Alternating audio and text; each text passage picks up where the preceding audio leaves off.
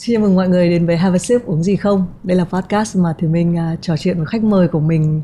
Mỗi tuần thì lại là một câu chuyện, một nhân vật mới. Nhưng mà điều mà thì mình uh, à, vẫn cảm thấy là chính bản thân mình thưởng thức được podcast của mình. Uh, đấy là một cái câu chuyện đến từ một người. Nhưng mà bằng cái sự chia sẻ chân thật thì nó lại đến với rất là nhiều người.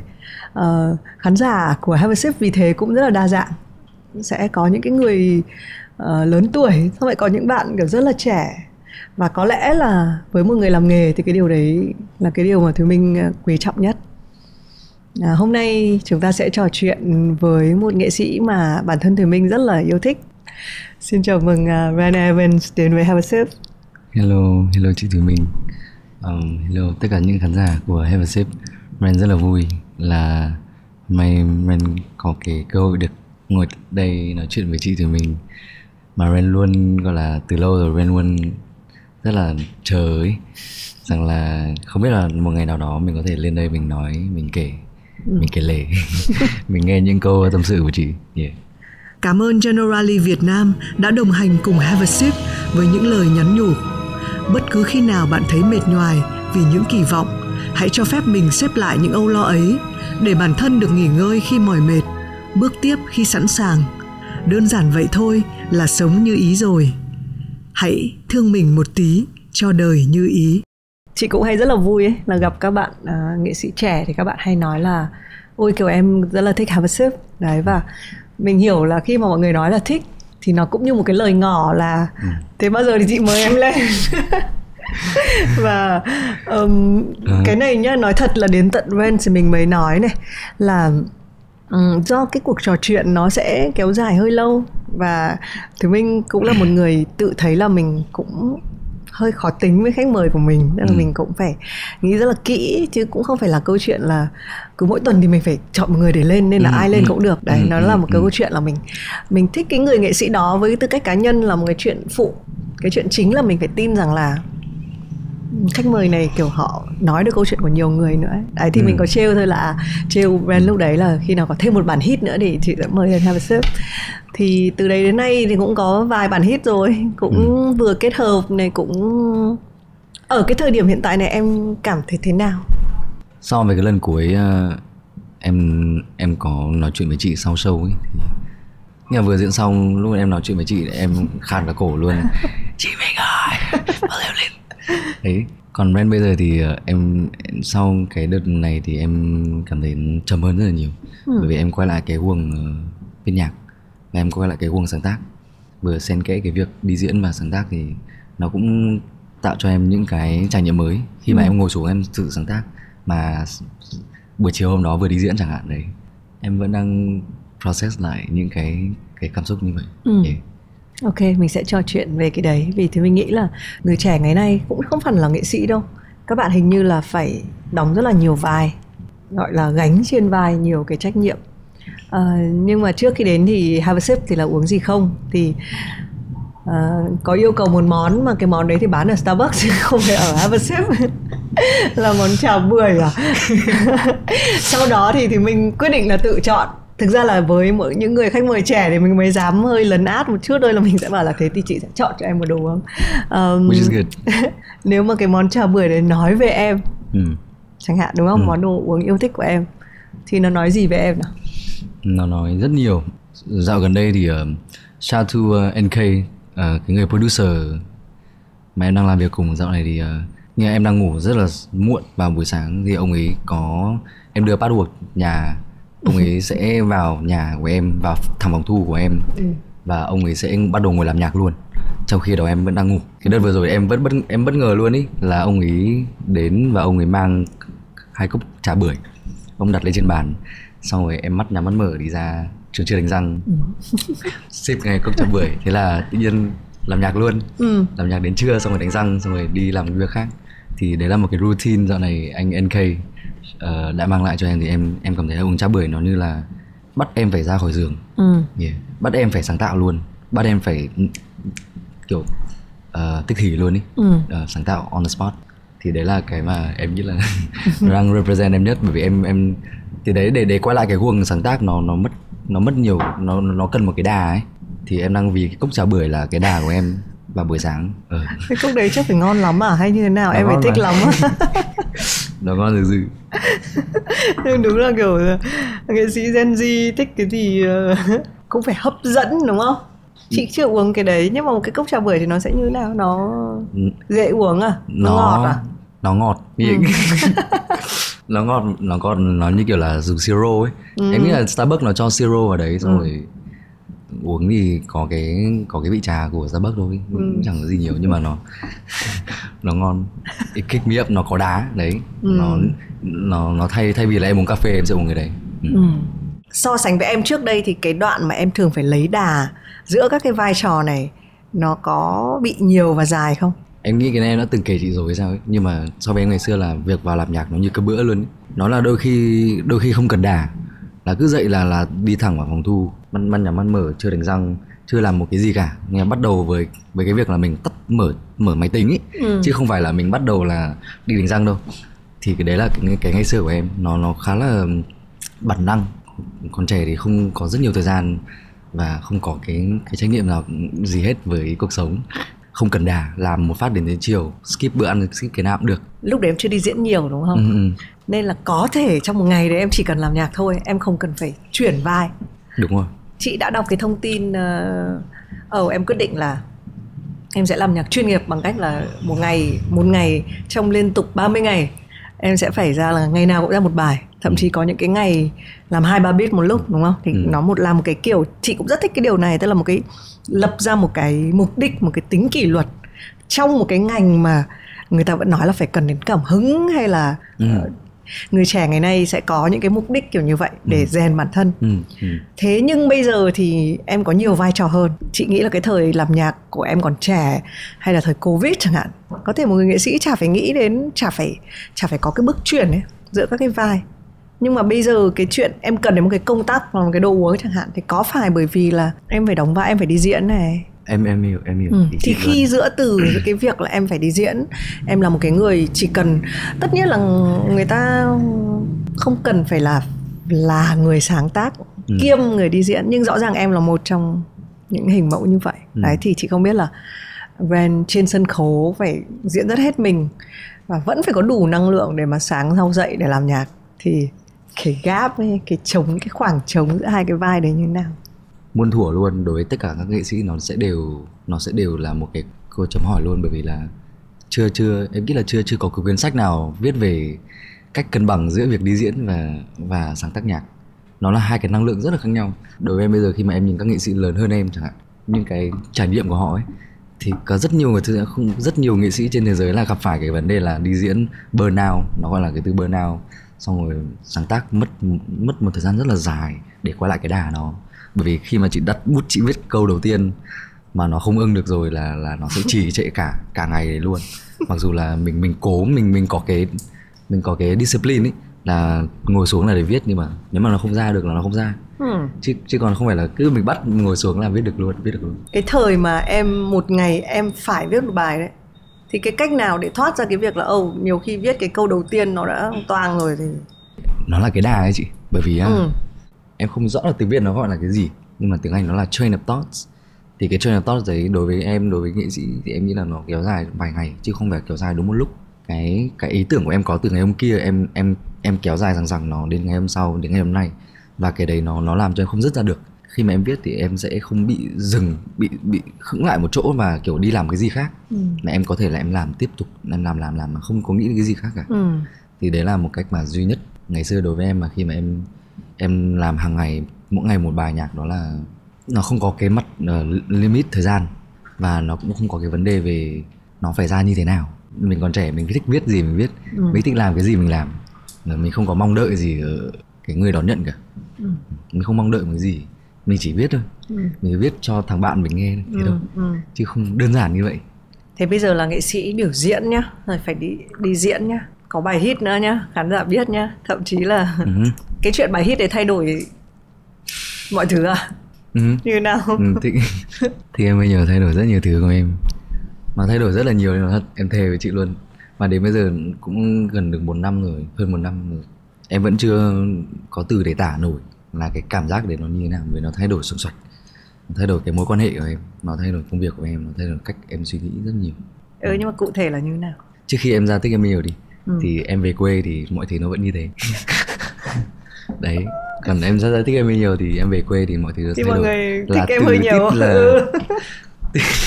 cả xóm nói chung là hàng xóm của xóm hàng xóm kia của xóm ừ. cũng biết.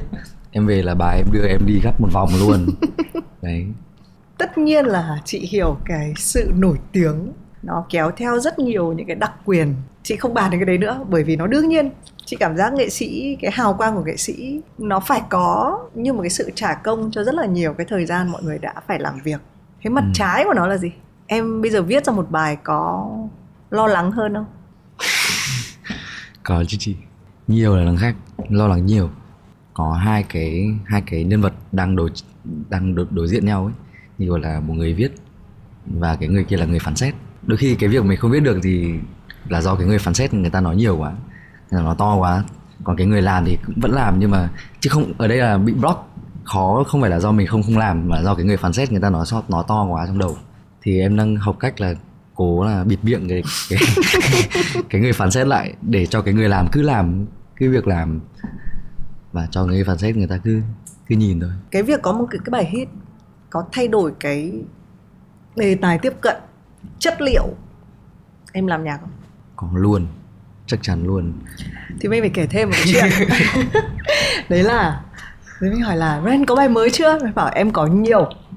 Thì mình mới nghĩ rằng là thường nhá khi mà chị ờ, mọi người hay gửi cho chị những cái bài hát họ chưa ra nhưng mà họ mới viết xong kiểu họ đang rất là tự hào. Đấy nhưng mà brand đến thì hỏi là, thế thể loại chị thích là gì? Sau đó thì có một cái nhóm bạn của thì mình lúc đấy cũng ngồi nói các thể loại thì brand bật từng cái bài với thể loại đấy. Và hôm nay thì mình hỏi là, tại sao lại có cái việc khác lạ như thế? Thì brand nói là bởi vì em đang, cũng đang làm survey là một cái khảo sát là xem là mọi người thích cái gì, đúng không?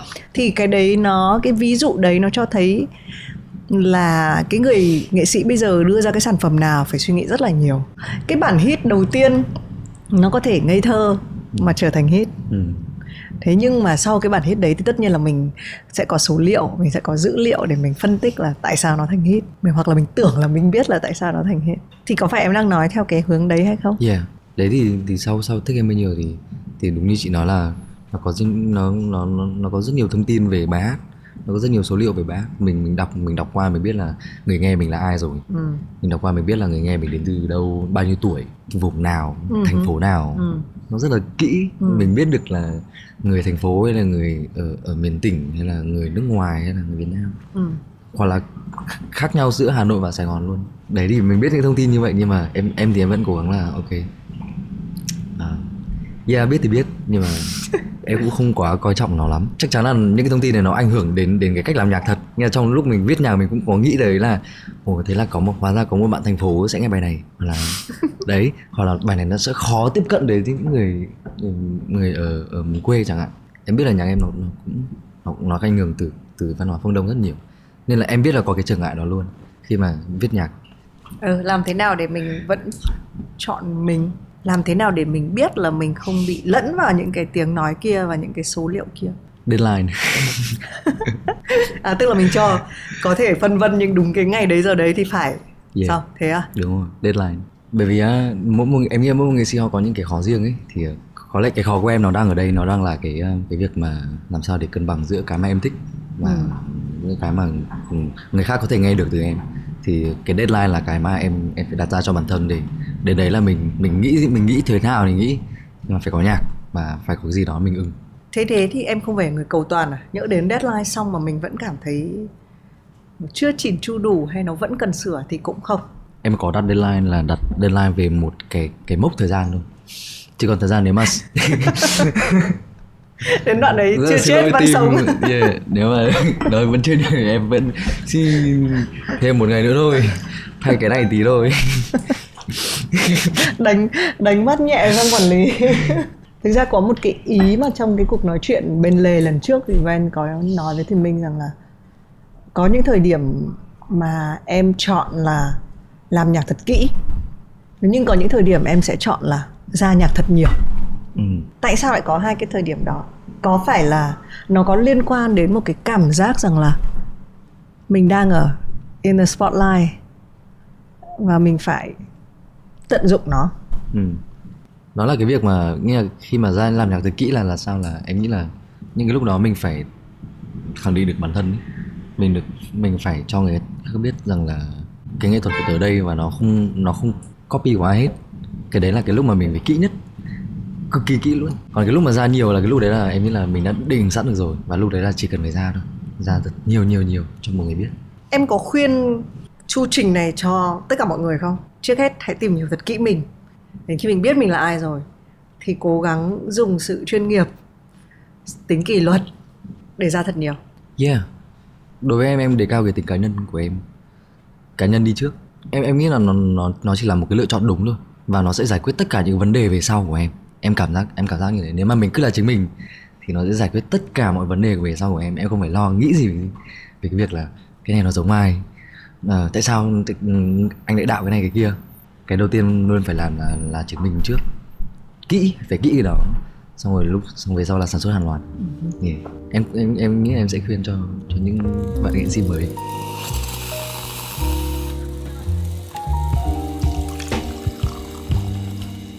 Mọi người hơi loay hoay bởi vì họ không hiểu rõ chính mình hay là họ không biết chọn mình?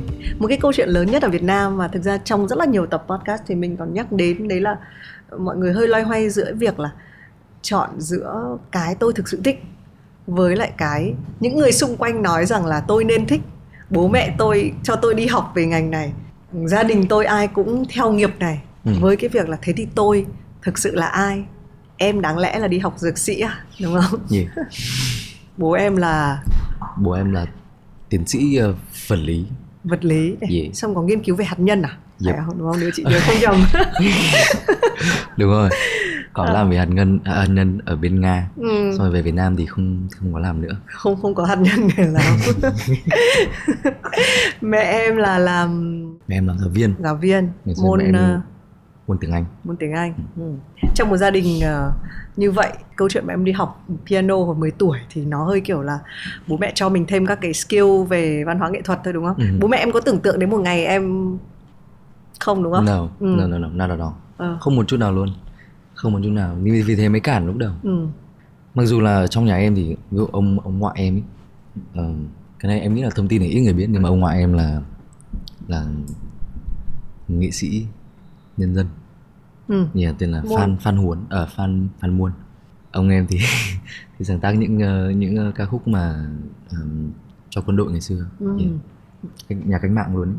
Gọi là cái môn bài của em đúng không? Khi nào Yeah, yeah, yeah. bố mẹ em có tại thể sao nói ừ, thì tại đúng rồi. sao đấy Tức là ông làm được đúng không? Tại Đúng sao rồi. con không đúng rồi không để cho con thử nhưng mà cái cái khó nhất trong việc thuyết phục người lớn ở một cái background rất là khác để mình theo đuổi một cái thứ đam mê của mình thì theo em để thành công được thì là cần đến điều gì?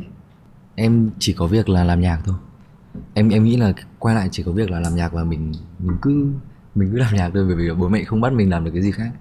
Cái thời gian đấy là em đang đi học cấp 3 và bố mẹ em có bắt em là học hết cấp 3 thì nộp đơn đại học đi vào cái trường này trường kia.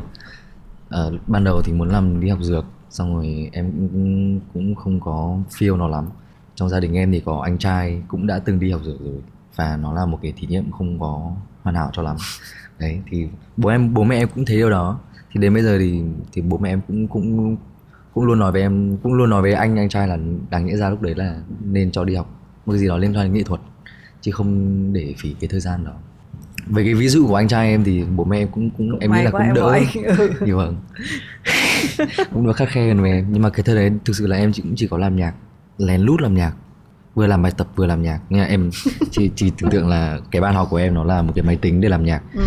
và bên cạnh đó là ờ, sách để che ấy. Ừ. đấy thì thì chuột ở đây. Thì bố mẹ em vào là em đập và em mở sách ra. Lật như kiểu lật trang ra đấy Ừ. để giấu thì cái ngày cái ngày xưa là nó phải như thế nó lén lút nó có cái sự hay trong đấy. Ừ. mà bố mẹ em thì cũng biết rồi. Xong rồi về sau thì ừm, mới bảo là bây giờ ở nhà trường kêu ca quá thì không biết là mày định làm như nào. Bởi vì em nghỉ học nhiều để em làm nhạc. Em làm nhạc buổi buổi đêm. Xong rồi có những đêm mà em làm nhạc đến buổi đến đến sáng muộn quá nên em không đi học được đấy. Oh, wow. Thế là cũng nghỉ vài vài buổi cúp vài vài tiết. Nhà, nhà trường cũng nhận ra nhà trường kêu bố mẹ. Em nói chung câu chuyện nó rất là dài nếu mà chị em em mà kể. Em em chị kể này em kể này trên rất là nhiều interview. Em em em em không muốn kể lại nhưng mà nôm na Ờ, nôm na ok. nó là bố mẹ em không không cho phép em làm một chút nào luôn. Và phải đến tận cái lúc mà em có một cái deal làm beat cho một bên này này. Thì bố mẹ em mới thấy cái điều đó. Bố mẹ em mới kiểu ô ô vào thế là hóa ra là cái nó cũng cái này nó cũng ra tiền chứ không phải là cứ cứ ngồi nhà làm mà không ra cái gì nhưng mà cái ra tiền đấy cũng là một cái chị không hiểu tại sao ở văn hóa Việt Nam cái cái tiền nó là một cái mức đo tức là ừ. khoan nói đến chuyện nhiều tiền hay có sự nghiệp nhưng mà nếu mà mình lấy cái lý do là cái đây là công việc và nó sẽ ra tiền ấy thì Ừ. mọi người sẽ nhìn mình nó nghiêm túc hẳn lên với cái việc là tôi đang theo đuổi đam mê của tôi yeah có bao giờ nó là áp lực của em không? có chứ. Có. Sau thích em mới nhiều ấy, là nó nó là, nó lại là một cái ờ, khoảng thời gian để em reflect lại bản thân. Làm gì tiếp đây? Thì em cũng cũng nhận cũng nhận thấy cái áp lực rằng là bây giờ ví dụ bài tiếp theo của mình nó không ok thì sao thì tiền lấy đâu ra. Trong khi đó là lúc đấy là bạn bè là cùng trang lứa là cũng đi học rồi sang nước ngoài học trường này trường kia ờ, vào top này top kia học trường gọi là người ta gọi là Ivy League đấy. Nó khá là đấy Ừ, ừ.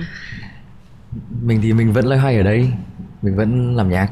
Lúc cái lúc đấy em tự nhiên tự nhiên thôi. Em trong cái cái khúc đấy em thấy tụt khá là tủi thân ấy bởi vì là không biết là ví dụ mình không làm ra tiền thì mình đang đi sai đúng không? Đấy. Thì chắc chắn là nó có áp lực nhưng mà về sau này em em cũng tự Thì sau giải ra quyết tiền được. rồi. Thì về sau đi diễn là khác liền. Đấy, đi diễn là ồ tiền đây này. Hóa ra tiền nó ở đây cơ. Ừ, ừ. Em có nói một câu, chị không biết là chị có quote có đúng không? Nhưng mà em có share trong một cái bài báo là em thấy mình Em không thấy mình quá tài năng. Yeah. Giả sử như chúng ta biết rất rõ là Ôi chúng tôi tôi có một cái tài năng này và tôi tin vào nó Ừ. Và tôi kiên định theo nó Thì nó là điều rất bình thường đúng không? Thế nhưng mà làm thế nào để một người có cảm giác là tôi cũng Cái tài năng tôi có không? Thực ra là tôi có tài năng đến mức độ là tôi có thể chinh phục nhiều không? Chưa chắc. Làm thế nào để mình vẫn kiên định đi cái con đường đấy? Ừ. Nếu mà xuất phát từ cái câu nói của em là nó không tài năng thì em em em em em mặc định vẫn luôn luôn, mặc định vẫn luôn luôn là Ren không có nhiều tài năng, nhưng Ren có cái ý chí và Ren có cái quyết tâm. Và nếu mà mình yêu nó đủ là mình sẽ tìm mọi cách để hiểu nó và để theo đuổi nó còn cái việc mà mình thấy mình đủ tài năng hay không để đi theo đối với em nó chỉ là một cái cái cái ngưỡng mình mình mình tự trà đạp bản thân thôi. Em em không hay hỏi câu hỏi đấy. Em hay hỏi là thế, thế thực sự cậu có yêu nó đủ không ấy? Chứ không phải là cậu có đủ tài năng không? Bởi vì em biết em không đủ tài năng. Ví dụ những cái kỹ năng cứng em em em thực sự luôn em nói trên podcast chị là em sẽ em không giỏi. Em không giỏi hát em không giỏi rap em không giỏi những cái kỹ năng mà mà mà cho một người nghệ sĩ thực thụ nhưng em biết là em có đủ cái kiên nhẫn với nó. Và em biết là em đủ cái cái yêu thương của em với nó. Em sẽ theo đuổi nó đến khi nào em làm được thôi. Còn kỹ năng cứng nhiều người, rất nhiều người rap rất nhiều người hát rất nhiều người phối khí. Giỏi em hỏi giỏi em rất nhiều. Em thấy là good for them. And I just have rất nhiều tình yêu cho âm nhạc mà em sẽ theo đuổi nó. Chứ nó không liên quan gì việc em có tài năng hay không chị thấy cái đấy cũng vậy. là hay đúng. Nhiều khi mình lôi cái câu chuyện tài năng nó là một thứ khiến cho mình phân tâm đúng không? Mình coi nó là một cái trở ngại thậm chí mình còn không bắt đầu nó. Ừ, ừ. và chị nghĩ là nghĩ được như em thì thành thành ra là chúng ta mới đang có Ren như bây giờ trong một cái buổi cũng là cái buổi lần gặp đầu tiên của Thủy Minh với Ren Evans thì mình có hỏi một câu là thế vấn đề của em là gì? Nói chung là mọi người cũng thông cảm lúc đấy là chúng ta cũng đã uống rượu và chúng ta cũng sau một cái show diễn mà. Có một người lao bổ một người và nói là thế vấn đề của em trong việc làm nhạc là gì? Thì em còn nhớ câu trả lời của em không? Và hình như nó vẫn đang là đang là cái điều em hay phải suy nghĩ đúng không? Ừ. luôn luôn như Vẫn à? vẫn vẫn như em vẫn đấy là ngôn ngữ ừ. có đúng không? Em Ngôn- gọi nhớ. ngôn ngữ. Đúng rồi đúng. Đúng rồi đấy chị. thành ra thì mình thấy cái việc này cũng hay và cũng kỳ lạ là cái câu chuyện ngôn ngữ nhá. Ừ. nó trở đi trở lại trong cái podcast này. Ừ. sẽ có một cái thế hệ mà dùng tiếng Anh là chính. Xong lại một thế hệ mà dùng cả tiếng Anh cả tiếng Pháp cả tiếng Tây Ban Nha nữa. Ờ, thì quay về câu chuyện tiếng Việt mình cũng hay tự cho rằng là à ok hát cho người Việt đang ở thị trường Việt Nam thì phải là tiếng Việt Ờ, cũng nhiều người khắt khe trong việc là ai đến trên một câu tiếng Anh vào thì là không được không được trong sáng không được giữ được cái sự trong sáng của tiếng Việt. Thế cái sự loay hoay của em với tiếng Việt nó bắt đầu từ khi nào em nhận thấy nó? Có vẻ là từ một cái bài trên báo an ninh nhân dân hay cái gì đấy nói về chuyện là em dùng tiếng anh không? Cái câu chuyện mà mà về việc em sử dụng tiếng anh quá nhiều ấy, nó đã từ từ ngày xưa rồi. Nó là từ cái thời mà em có còn đăng nhạc lên SoundCloud ấy chị. Ở dưới đấy cũng có comment chê, uh, à, Ờ, ý là khen rất là khen nhưng mà cũng bảo là tại sao nó không sẽ có người vào bảo là không hiểu cái gì hết. Lúc đấy em mới làm nhạc và em đăng lên em chỉ nói chung là chỉ muốn biết là cái cảm nghĩ mọi người cảm nghĩ mọi người ở trên SoundCloud như thế nào thôi chứ cũng không có em cũng không có mong đợi gì nhiều. Nhưng mà thực sự là khi em đọc được những cái comment kiểu là tại sao nói không phải là tiếng Việt? Ờ, bài này hay đấy tại sao nó lại không là tiếng Việt? Thì em lúc em từ đấy em đã nghĩ rồi. Cái khoảng thời gian mà em ờ, vào Sài Gòn em gặp người này người kia em thấy cái thành phố lớn này em thấy con người nhiều hơn ý em thấy uh, người miền Nam nhiều hơn em mới bắt đầu là em mới bắt đầu có cái suy nghĩ là hay là mình thử viết tiếng Việt thế nó cũng nó cũng cách đây tầm một năm rồi À nói người nhiều hơn thì hôm nay chỉ là ngày cái ngày mà quay hình này ngày thế giới chính thức của 8 tỷ người đúng không? Số lượng người chúng ta biết đã nhiều hơn. Tức là mình theo chị hiểu là em cảm nhận là tiếng Việt có thể là một cái thị trường cho mình để mình ừ. tấn công. Đúng rồi. Nó như vậy luôn đấy chị bởi vì là em nhận được những comment như kiểu là nhạc hay đấy, tại sao nó không phải tiếng Việt? Thì có hai cái thông tin là em nhận được rằng là nhạc hay. Ừ. Không phải tiếng Việt. Ừ. Thì ok, mình sẽ làm tiếng Việt cộng với nhạc hay. Ờ, ừ. ai ai bắt đầu? Nếu, nếu mà như thế thì sao? Thì, thì, thì người ta sẽ chơi cái gì? Em em lúc em hỏi như thế. Em ơi thế thì câu chuyện này nó sẽ sai lầm thì sau đây khi em biết tiếng việt rồi thì sẽ sẽ lại mọc ra những cái thứ khác đúng thì không nó sẽ chơi cái khác đúng không? Em biết nhưng mà lúc đấy em chỉ suy nghĩ là ok bây giờ nhạc hay tiếng Việt thì mày định chơi cái gì? cái câu chuyện này nó rất là giống với câu chuyện của Vietcetera nhá. Ừ. Vietcetera là bằng tiếng Anh trước mà cũng đến một ngày là nhìn thấy cái sự cái tiềm năng của việc ơ tại sao lại không có tiếng Việt và khi mà chuyển uh, sang tiếng Việt thì là cái chart nó lên như này luôn bởi vì ừ, là ừ. mình mới chợt nhận ra là có rất là nhiều người coi cái ngôn ngữ là rào cản thực ra có thể là tất cả mọi người đều hiểu tiếng Anh ừ, ừ. thế nhưng mà cái việc mà chuyển sang tiếng Việt hay là mở ra nó như một cái nó như một cái thế giới khác mà ừ, bao ừ. nhiêu nội dung mình có thể khai thác vào yeah, ừ. yeah. thì từ lúc em viết cả tiếng Việt nữa thì em có người cái người tiếng Anh và người tiếng Việt cái người tiếng dùng tiếng nước ngoài với với cái người viết nhạc tiếng Việt ấy nó có phải hai người tách rời không? Ừ. có chị ạ em sẽ mô tả như cái, thế nào cái này nó rất là sâu ấy. nó ừ. rất là sâu trong những người em nghĩ là cho những người mà mà nó hai từ tiếng hoặc ba từ tiếng đôi khi nó chưa chưa cái người ra làm ba bốn từ tiếng thì nó chưa cái người ra làm bốn em đảm bảo với chị luôn bởi vì là trong ngôn ngữ nó tạo ra một cái tính cách riêng ấy tiếng anh em là một người khác em mà nói chuyện tiếng anh với chị bây giờ chị sẽ cảm thấy là cái cái vai vía của em nó khác luôn. Còn khi mà em nói tiếng tiếng pháp thì chị cảm thấy là người em nó sẽ trầm hẳn lại. Tiếng ban nha này em không nói rõ. Nhưng mà tiếng việt thì chị sẽ cảm thấy em em em không biết nhưng mà đấy là tùy ừ. không biết cảm theo cảm nhận của chị nhưng mà thế giờ mình sẽ làm thử. Thì mình xin từ chối tiếng pháp và tiếng tây ban nha nhưng mà mình có thể thử nói chuyện một đoạn bằng tiếng anh đoạn này có phụ đề tiếng việt ở dưới được. Ok Uh, How you doing? good, good, good. I will ask about like uh, one of the. I don't think the story is that special. The actually the Action New Joy a label, a music, a music label. Right. Do you do everything very differently after? After joining the label, mm. for sure, it's like a, a 360 change because you kind of have to go through a lot of thought process with the label. There's a lot of process in the label there's a lot of filtering in the label, which I think like indie artists does not encounter during the time when they when they put out like a like a song. When indie artists, when you stay indie independent, you have the freedom, not only the freedom, but the freedom in, in the thoughts. In a label, you're not allowed to do this, you're not allowed to do that, and you don't have that much of freedom in thoughts. Mm. So, it's it changed just the way you work. Mm. Yeah.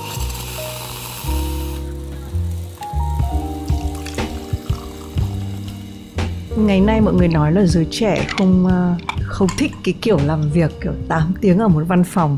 Covid cũng khiến cho những cái văn phòng ảo nó ra đời.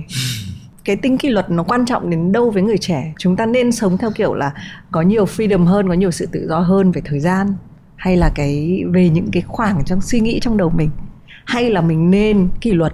I'm người trẻ right now and, ừ. đây là cái cái cái cái cái lời khuyên em em em cho bản thân luôn là chắc chắn là phải có tính kỷ luật trong tất cả mọi người. Trong sáng tạo phải có trong cảm mừng bắt buộc phải có. Thế ra khi mà làm sáng tạo em mới nhận ra là có những thứ mà nó sẽ nó sẽ giật dây.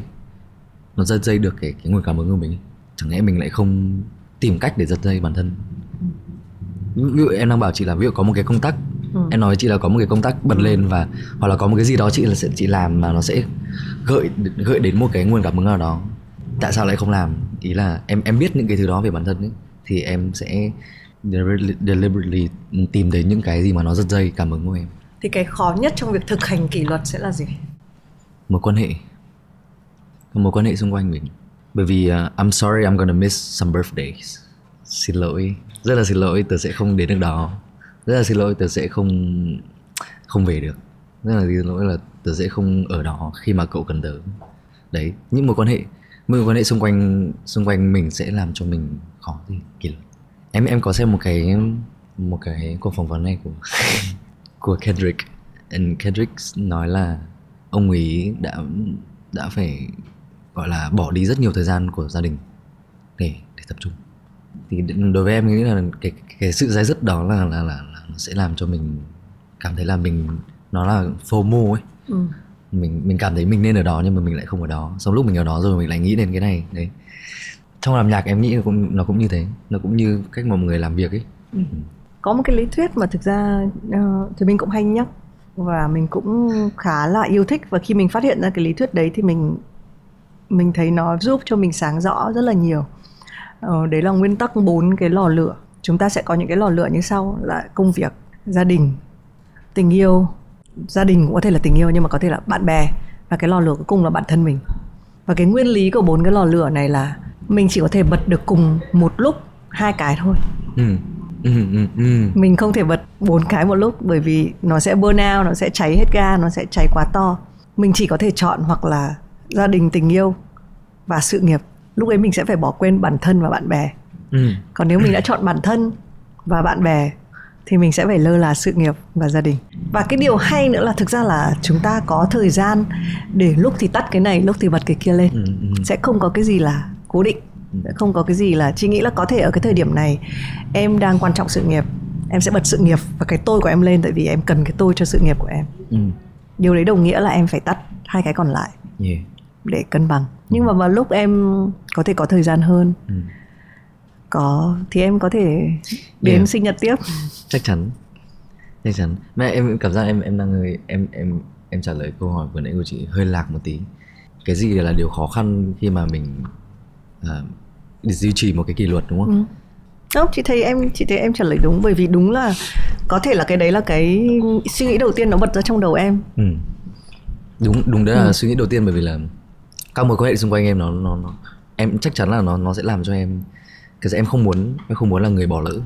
Em rất là sợ cái cảm giác bỏ lỡ, bỏ lỡ mình bỏ lỡ cái sự kiện này với người này với bạn với anh bạn này mà mình quen ở đây, người anh em gọi là anh em xã hội này mình quen này hoặc là với gia đình em em bỏ nhiều lỡ nhiều lắm. Cái đấy cái cái em khó để cân bằng. Mình nói đến anh em bạn bè một chút xíu.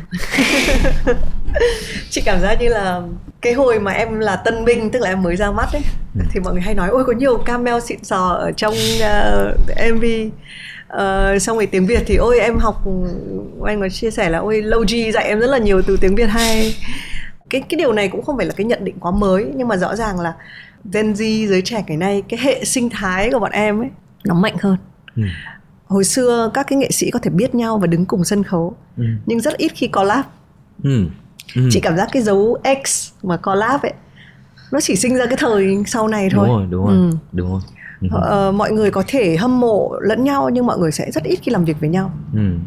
cái điều gì theo em nghĩ nó đã thay đổi khiến cho các hệ sinh thái các nghệ sĩ cái sự cộng tác nó trở nên là một cái điều kiểu gần như đương nhiên?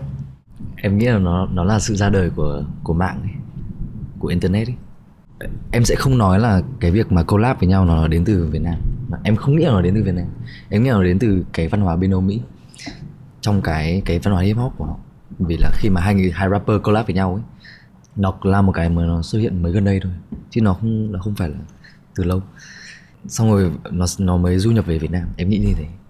Ờ, và khi trên internet chẳng hạn ví dụ chị thấy là ví dụ, hai hai nghệ sĩ nhạc pop rất là nổi sẽ collab với nhau. Ờ, gần đây có Dua Lipa với cả Angel ờ, làm ra một bài Fever chẳng hạn hai nghệ sĩ nhạc pop rất là nổi em nghĩ ở ngày ngày xưa người ta sẽ không có nghĩ đến việc collab với nhau đâu mà từ hai nước khác nhau luôn ấy Ừ. từ Pháp và Mỹ luôn ấy nhưng mà em nghĩ là sau khi mạng như là internet được sinh ra twitter được sinh ra mọi thứ được sinh ra thì người- mọi người sẽ tweet về người sẽ nói về ôi nhỡ đâu mà hai nghệ sĩ này có collab với nhau nhỉ Ừ. và tình cờ họ nhìn thấy cái điều đó em nghĩ là nó sẽ nó nó giật dây một cái một cái viện một cái thế giới mà ai cũng collab được với nhau Ừ. Ờ. em cũng collab với rất nhiều người đúng không có cái collab nào mà hỏng không? Tất nhiên là sẽ không dám trả lời. Nhưng mà khi trước khi collab có sợ là nó sẽ nó sẽ hỏng không? Sao chị lại có linh cảm là chị biết nhỉ không em không em em em không em không em không em không wow trai hà nội đây rồi. Sự thanh lịch. Không làm mất lòng ai. Nà nà nà nà em em em coi collab là duyên ý. Duyên duyên mới collab được với nhau. Đối đối với em nó là duyên bởi vì em hôm trước em có ngồi với um, em có ngồi với anh Lân Grady. Ừ. Ờ, sau một cái buổi biểu diễn của em ở Hà Nội thì em có ra Poku ờ, vào buổi đêm. Em có gọi Grady ra. Nên Grady cũng ra đấy ngồi ngồi ngồi khuya luôn đến tầm năm ba bốn giờ sáng ấy mới mới chịu về. Thì anh em nói với nhau là Ê, anh em phải collab. Xong rồi hai anh em đều nói với nhau là nhưng mà bao giờ? Đấy xong rồi hai anh em lại nói với nhau là anh là anh thường gặp những bọn là hay nói là collab nhưng mà nói lơ lắm. Thì em cũng bảo là em cũng hay gặp mấy bọn. Xong hai anh em nhìn nhau như thế thì anh em mới bảo là thế bao giờ đây? Thế thì bây giờ phải phải đặt nó vào lịch phải nhờ trợ lý của nhau Ừ. đặt nó vào một cái lịch.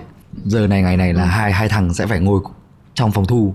Bất cứ kể chuyện gì là phải ngồi trong phòng thu. Mình có nghĩa có nghĩa là mình phải chuyên nghiệp hóa cái việc đấy. Ừ. không thì nó sẽ không xảy ra. Cái lời mời collab nó bây giờ nó lại Ừ. thành là rất là dễ nhiều quá, ờ, dễ cứ quá. gặp anh chị Ừ, chị gặp ai là ừ. collab đi nhá Ừ, ờ ừ. ờ ừ, ừ, ừ. xong Ừ. mãi ừ, hay. suốt ừ.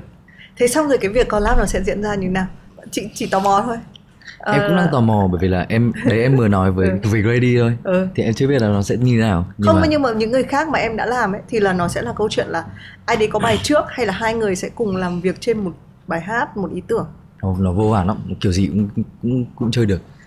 Em là rapper A Ừ. tìm tới rapper B.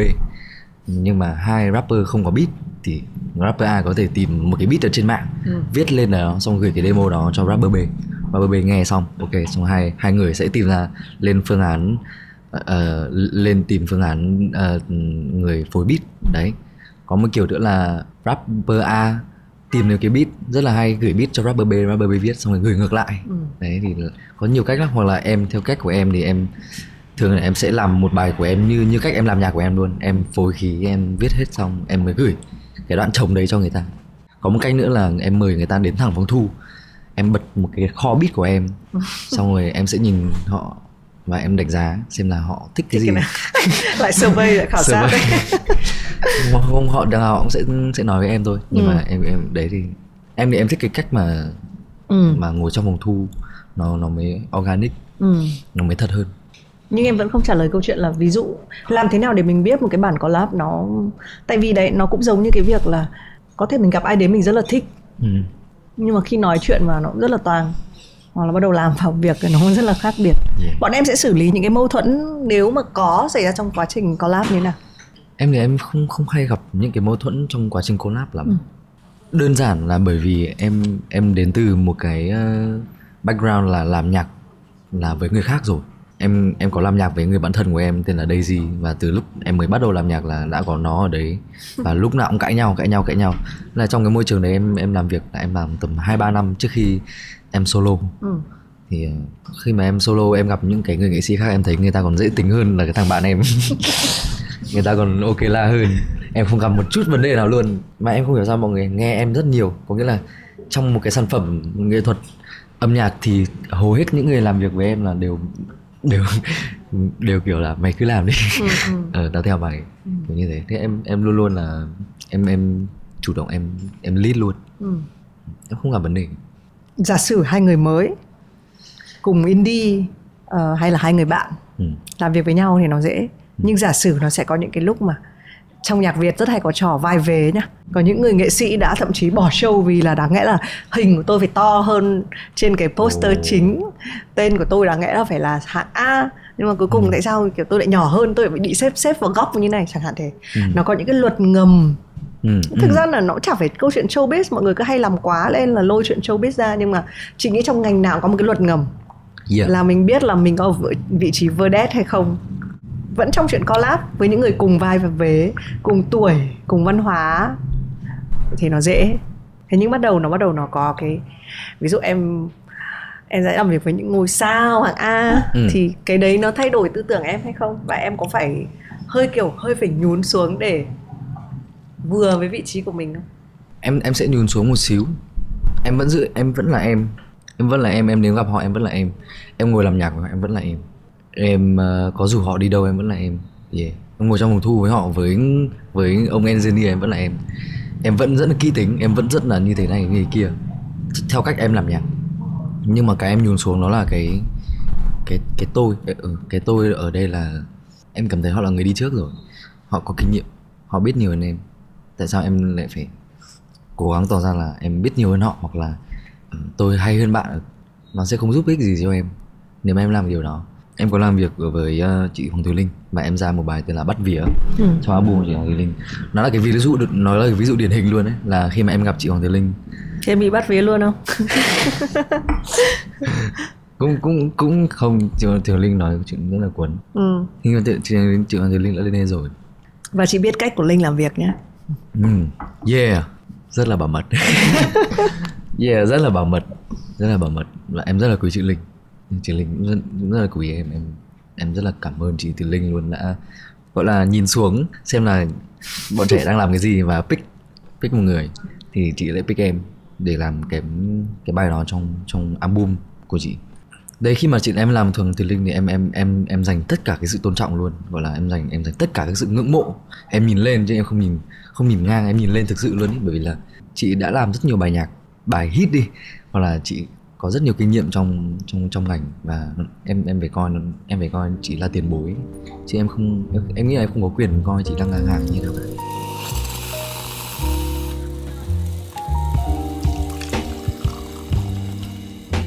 thế trong các tiền bối của nhạc Việt em nghĩ là em sẽ muốn cộng tác với ai cái sự cộng tác này nó phải tốt nhá tại ừ. vì chị có cảm giác là đấy như chúng ta cũng nói đôi khi cái sự collab nó là một cái là nó trở thành một cái xu hướng ừ. là một cái trend nó là ừ. ui thôi cứ collab đi ừ. cái trò mà đi đông thì rủ nhau đi bao giờ nó vui hơn là đi một ừ. mình ừ. Ừ. nó rất là hay xảy đến với một cái đoạn rap ừ. Hồi xưa khi mình chưa có cái văn hóa hip hop ừ. và rap thì nó cũng bắt nguồn từ pop khi mà một số các nghệ sĩ pop sẽ chị nhớ hồi rất là xa xưa đời đầu là những ca sĩ thanh thảo sẽ collab với anh đinh tiến đạt ừ. những rapper đầu đời ừ. Đấy, xong bắt đầu mỹ tâm sẽ collab với hà okio. Đấy ừ. tức là đấy. ừ, ừ, ừ. cái cái cái những cái cái tên rapper đầu tiên là phục vụ cho việc collab đúng rồi đúng rồi. Và chị cũng hay hồi đấy chị hay trêu là như một cái gia vị thôi. Đấy còn bây giờ thì tất nhiên là đã thay đổi rất là nhiều ừ. các rapper làm là những ngôi sao. Nó lại ngược lại. Ừ, đó. Yeah, em muốn em nghĩ là một cái sự cộng tác của em với ai sẽ mang đến một cái một cái bất ngờ một cái hay ho không thực ra câu hỏi này em sẽ hỏi cho chị em hỏi chị luôn ý. Ừ. em sẽ hỏi là chị ví dụ chị thấy Ren Evan đứng cạnh ai? Trên một bài nhạc thì chị sẽ cảm thấy là nó đáng để bấm vào để xem ấy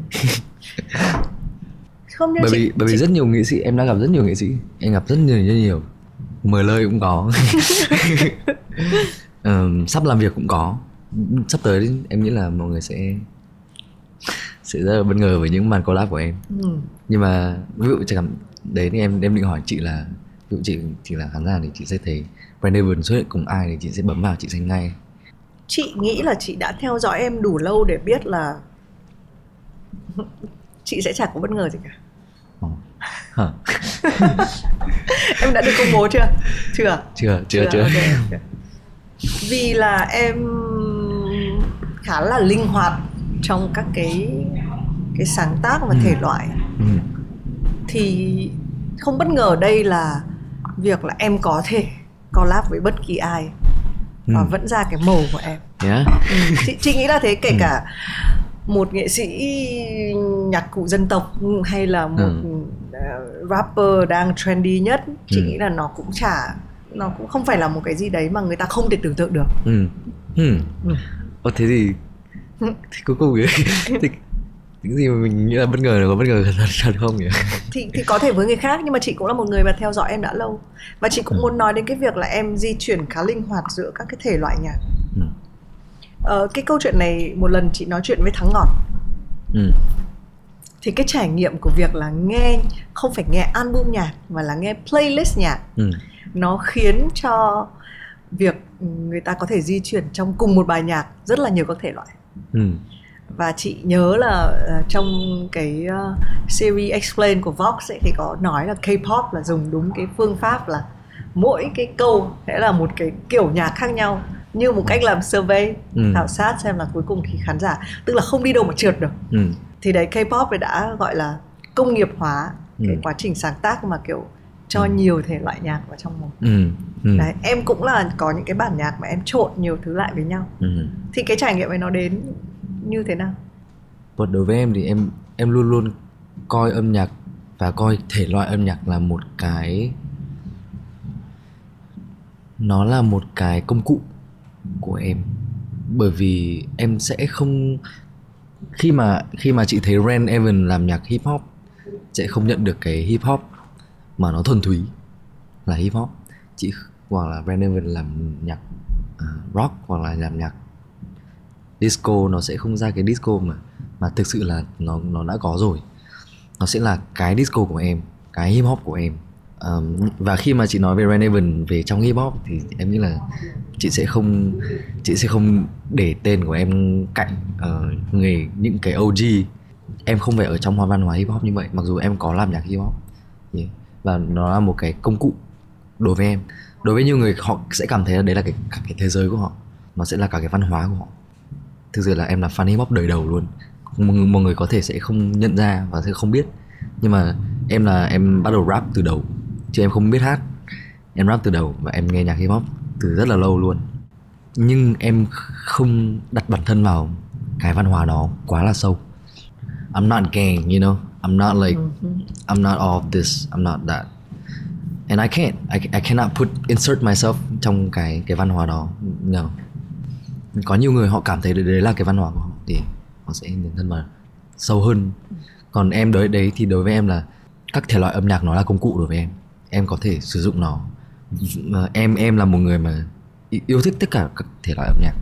Em em không có limit bản thân là là cậu phải thích hip hop cậu phải thích nhạc pop cậu phải thích nhạc rock cậu phải thích nhạc này. Mà thực thực chất là em thích hết. Em yêu âm nhạc đến cái mức đó.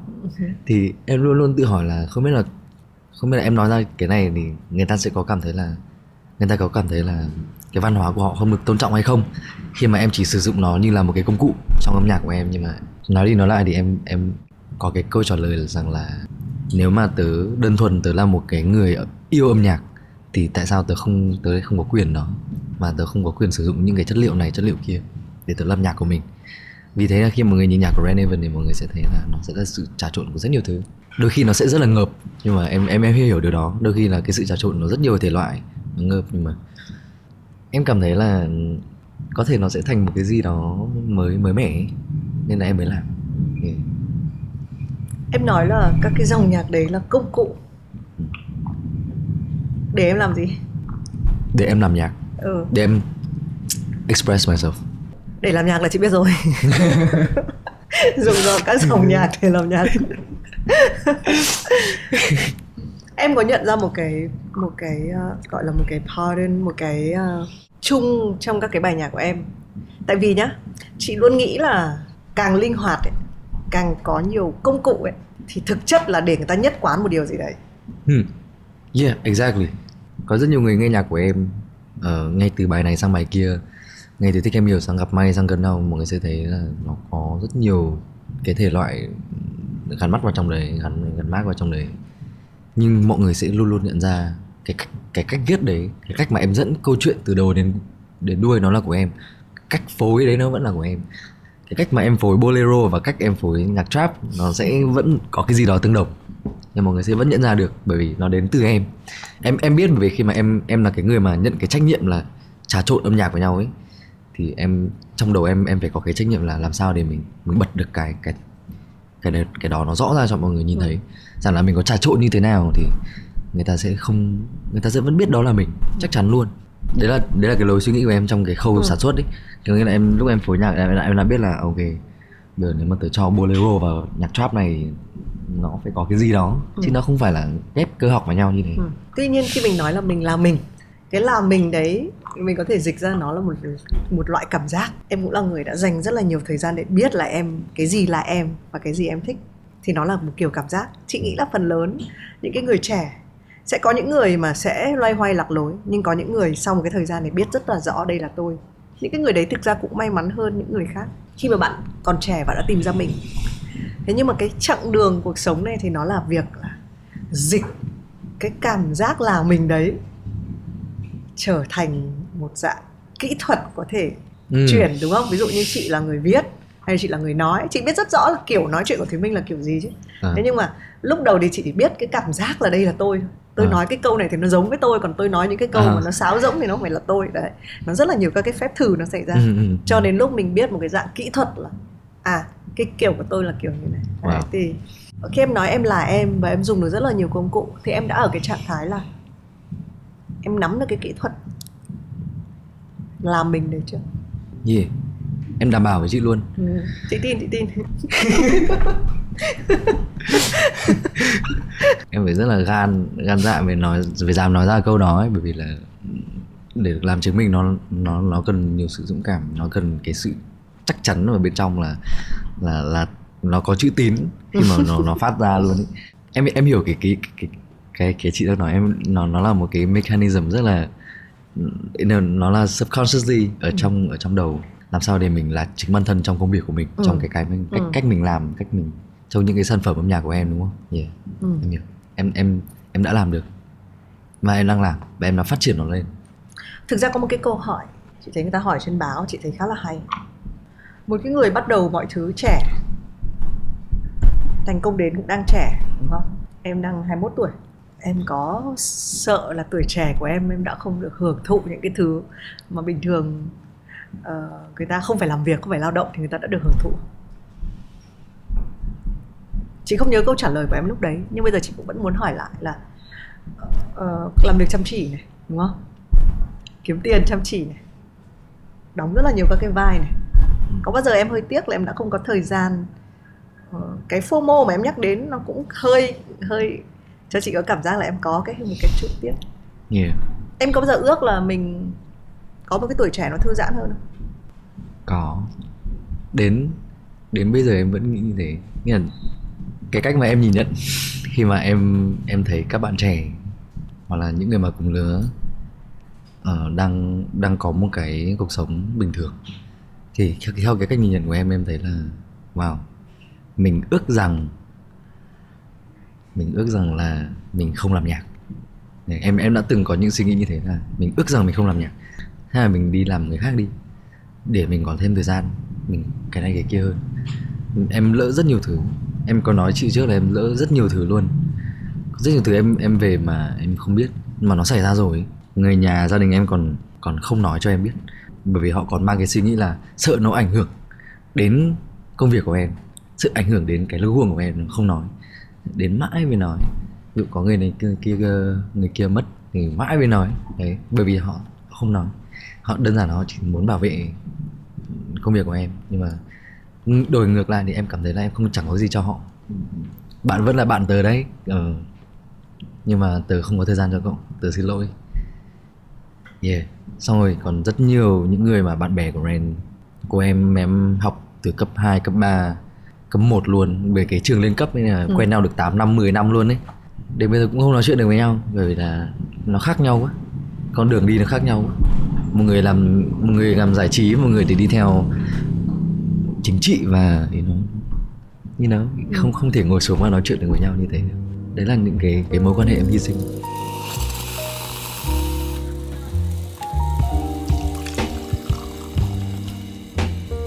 Thấy hiện tại người trẻ cũng bị bị làm việc nhiều. Và cũng xin lỗi là cái câu chuyện này nó lại trở đi trở lại bởi vì chúng ta đang uh, có một cái bạn Gen Z khác mà bây giờ cũng đang làm việc ở Vietcetera nói rằng là Gen Z sinh ra ở trong cái thời kỳ mà là tất cả đều là sân khấu và mình luôn là người biểu diễn. Trước khi có mạng xã hội người ta không phải khoe nhau làm gì cả. Người ta cũng không làm việc trên mạng xã hội. Ừ. Đó, ừ. âm nhạc trước đó nó là cái việc là đi tour diễn và ra đĩa ừ. nó không phải là chị nghĩ là em cũng không cần phải đăng hình của em ở trên Instagram ừ. ờ, không phải chịu trách nhiệm là giữ cái follower ở trên các cái nền tảng xã hội tại vì nó cũng là cái công cụ để ừ. mình nó support cho chính mình ở trong một cái văn hóa như vậy là tất cả đều là sân khấu tôi luôn phải perform nó kéo theo cái việc là sẽ rất là nhiều cái sự mệt mỏi trong cái nghề của em đã đã mệt mỏi rồi nhưng mà chị cũng tin là rất là nhiều người khác họ thiếu cái một cái khoảng nghỉ cho bản thân. Những lúc mà em mệt quá và em cần một cái khoảng nghỉ cho bản thân chẳng hạn em sẽ làm gì? Wow. có bao giờ em nghỉ không? Not really. Thế à? Not, not nhưng em really. có mệt không? Có mệt chứ? Có mệt. Em ngủ nhiều. Em em em cảm giác em không ở một cái vị trí mà có thể nói nói nói nói chung được cho tất cả những cái bạn Gen Z khác. Em, công việc của em nó khác không hẳn là công việc của em nó hơn người ta hoặc là công việc của em nó nó nó nó bận hơn người ta. Mà chỉ chỉ đối với em thôi. Đối với Rand Evan khi mà em chạy Rand Evan là một cái brand đi thì em sẽ lúc nào cũng suy nghĩ về nó. Đi tắm đi vệ sinh mọi thứ là ăn uống. Rand Evan làm gì tiếp đây? Trong đầu. Đấy là cái cái mà nó nó làm em cảm giác là mệt nhất. Mệt ở đây là không phải theo cái hướng là uh, không muốn lại không muốn nghĩ về nó nữa mà là chỉ là mệt về đúng là về thể thể, thể chất luôn nên là là đến cuối ngày là em sẽ nhiều khi là khó ngủ xong rồi mất ngủ đến đến ngày hôm sau luôn. Nói chung là yeah, nó nó là một cái vấn đề khá là lớn đối với em. Em đang dần dần giải quyết nhưng mà em vẫn không thể nói chung cho các bạn Gen Z được vì mỗi người một cái ừ. cái nghề khác. Maybe em có thể nói được một điều là khi mà Gen Z tập trung vào một cái cái gì đó mà họ rất là thích thì họ sẽ theo đuổi rất là mãnh liệt. Chị nghĩ cái chuyện theo đuổi mãnh liệt thì khuyến khích. Chỉ có điều là chị thấy nếu không có khoảng nghỉ thì không được. Ừ. mình có nhắc đến từ đầu cái việc bơ nào chị biết là khi nhắc đến chữ bơ nào thì là bơ nào đã xảy ra chứ ừ. không phải là yeah. chưa từng. Đúng rồi đúng rồi. Đấy thì nếu mà em không phải là em mà em nhìn đang nhìn Van Seven thì em nghĩ là lúc nào em sẽ là lúc em em thương em nhất? Những cái lúc mà em em làm gì đó cho bản thân em đi mua nến. Mua nến à? Thích nến à? em rất thích nến. Em quét nhà. Em, em rửa bát. Em làm những cái điều mà đáng nhẽ ra một một người bình thường phải làm. Thì lúc đấy em sẽ cảm thấy em thương bản thân nhất. Em nói thật luôn là bận bận bận lắm. Không có thời gian ở nhà đâu. Mãi mãi về nhà chỉ đi ngủ thôi. À, hoặc là vào thẳng phòng thu làm nhạc. Thì những cái lúc mà dọn dẹp những cái lúc mà mình ăn uống gọi là từ từ bếp mình ra ấy. Lúc đấy là lúc mình thương bản thân nhất. Là đi mua cái này cho cho cho nhà đặt đặt trang trí ở đây hoặc là thôi giúp việc dọn cái này rồi cái kia. Là em cảm thấy là oh, ok mình đang mình đang cho phép bản thân. Thứ nhất là về không gian sống nó đã ok rồi. Đấy. ăn uống các kiểu nó nó thì đấy là những lúc mà em cảm thấy là em em đang em đang thương bản thân nhất từ Sài Gòn từ Hà Nội chuyển vào Sài Gòn thay đổi xong rồi vào công ty xong rồi các thứ. Nó có thay đổi. Em em em thấy có thay đổi nhiều không? Thấy yeah, yeah. nhiều lắm. Ừ. ôi. Em có bao giờ nhớ Hà Nội nhớ gia đình các thứ không? Hay là tại vì cũng ra nhiều?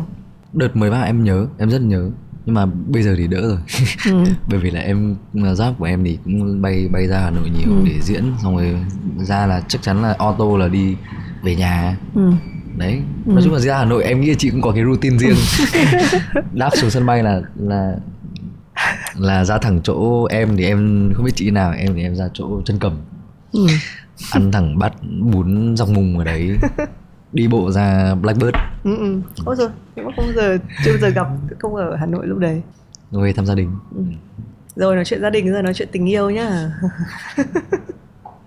hồi xưa nhá chị lại phải nói câu chuyện hồi xưa hồi xưa các anh nam ca sĩ mà kiểu tài tử đẹp trai có nhiều fan nữ. Rất là ngại công khai người yêu. Ừ. cái đấy trong đầu của bọn em có bao giờ là một cái suy nghĩ không? Wow. Cái topic này căng đét luôn nếu không muốn nói gì thì, thì tôi không sao chị sẽ Thôi em sẽ trả lời chị rằng là, là cái thì nó nó cũng nó cũng giống giống cái cái cái cái ngành công nghiệp K-pop. Nhiều idol em nghĩ là nhiều idol họ sẽ không như trong cái hợp đồng đó rồi là không được nếu mà có yêu đương là không được không được không có thể ai biết cả. Hợp đồng em có cái đấy không? Không không không. Ừ, ok. Đấy khi mà ở bên ở bên ở bên Hàn thì cách mà idol họ vẫn cái cái ngành công nghiệp đó vận hành là nó trong trên trên giấy, trên giấy tờ luôn là tại vì là, nó kinh doanh quá nhiều thứ. Yeah. và cái đấy nó ảnh hưởng nghiêm túc đến doanh số. Nó thực sự nó ảnh hưởng rất nghiêm túc. Nên là em nó không phải là một cái gì mà nó quá là tabu em thấy là chuyện bình thường. Người ta không thích công khai bởi vì là do công việc của người ta. Ừ. nó là một cái bình thường. Bởi vì em nghĩ ở bên văn văn hóa bên Hàn họ đã chấp nhận cái điều đó rồi thì thì ở Việt Nam tại sao không. Ừ. nhiều khi người ta chỉ không muốn công khai. Nhiều khi bởi vì do tính chất công việc em biết ở, bên Hàn ví dụ khi mà họ họ rằng là họ là một idol cái mà họ họ bán là cái hình ảnh cái cái tưởng tượng Ừ. cái suy nghĩ rằng là họ độc thân. Chị xem em đi vòng lại cái câu chuyện ở Việt Nam thì như thế nào? Thì ở Việt Nam thì à, thực ra em cũng không biết. Em em cũng không biết là ở Việt Nam nó vận hành như thế nào bởi vì văn hóa nó hơi khác. Chị chả quan tâm đến Hàn ở Việt Nam thì cả chị đang hỏi chính em. Ở đánh em chống quan điểm thế nào? đang đánh chống Em- làng đấy. Ừ thì chị biết mà em đi vòng một cái vòng cái bàn này luôn.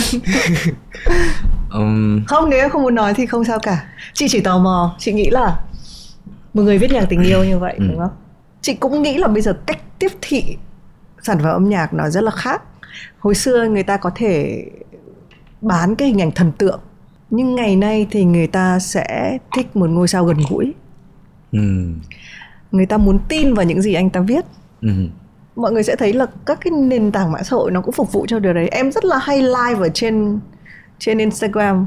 Lúc Em- em, live thì lúc Ừ. em em mất tiếng rồi em internet em mất thì để em live em live vì quyền nhận đấy. đơn đấy thì nhưng cái đấy thực ra là nó là một cái tiếp xúc chị rất là thích cái điều đấy ở cái lứa nghệ sĩ bây giờ. Ừm, tức là tôi là tôi. Ừm, tôi không phải yeah, tôi hiểu những cái giá trị khác và những cái cái cách làm branding khác nhưng bây giờ cái sự chân thật cái thật nó sẽ là cái mà khán giả họ nhìn thấy Ừ. đầu tiên. Nên Ừ. chị tò mò là em như thế nào trong tình yêu? Quay quay lại cái cái câu chuyện là mình nghe em em cũng nhận thấy là cái đối với cái lứa của em cái cái mối quan hệ giữa nghệ sĩ và và và khán giả nó gần gũi hơn rất nhiều. Thì em em em cảm nhận điều đó luôn. Em chắc chắn điều đó luôn. Em nghĩ là nghệ sĩ trẻ nào cũng đang có một cái mối quan hệ rất là thân mật với với fan nhưng mà em sẽ luôn em sẽ trả lời tiếp cái câu hỏi của chị. Em em lại nghĩ là nó vẫn nên có những cái vẫn nên có những điều mà fan không không nên biết về nghệ sĩ. Đời sống cá nhân không nên biết không nên biết quá nhiều. Em gần đây em có xem một cái có một xem một cái video nó nó nói về à, việc hãy tách biệt uh, nghệ thuật ra khỏi người nghệ sĩ. Separate the art from the artist. Cái nghệ thuật nó có thể rất là hay nhưng mà cái người đứng sau cái tác cái tác phẩm đó lại là một người mà có thể là nói về đạo đức người ta không tốt chẳng hạn. Ờ, em không muốn những cái những cái ờ, những cái gì về cá nhân của mình nó nó nó nó nó ảnh hưởng đến đến cái lối suy nghĩ của người nghe khi mà người ta nghe nhạc của mình. Em muốn họ chỉ cảm nhận được cái bài nhạc của của em theo cái cách họ cảm nhận bài nhạc đó thôi chứ không em không em không cần người ta phải phải uh, link link nó với cái câu chuyện Ừ. là Renevan là ai? Renevan yêu cái cô này như thế nào? Em không cần. Với chị nghĩ một vài sự bí ẩn thì nó có một cái vẻ đẹp riêng của nó đúng không? Yeah. Yeah yeah yeah yeah.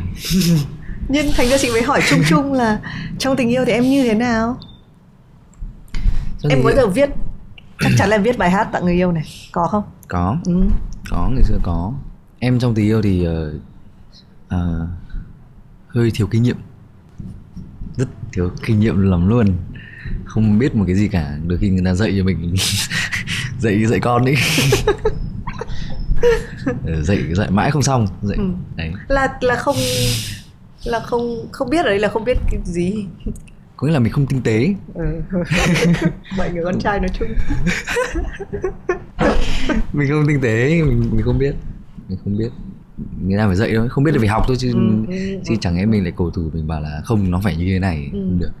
Em em em nghĩ là em qua cái thời cái thời kỳ đó. Ừ. ngày xưa em rất là gọi là bảo thủ luôn là yêu phải như thế này Ừ. không yêu người ta có cảm xúc riêng của người ta mình đâu mình đâu bắp ép Ừ, cái gì được. Thì uh, em lại em đang trong quá trình là học, học lại để cách người khác cách người khác yêu mình như thế nào và mình trao lại đi tình yêu như thế nào. Thôi nói chuyện yêu không hay bằng nói chuyện làm nhạc có một sự dè dặt nhẹ.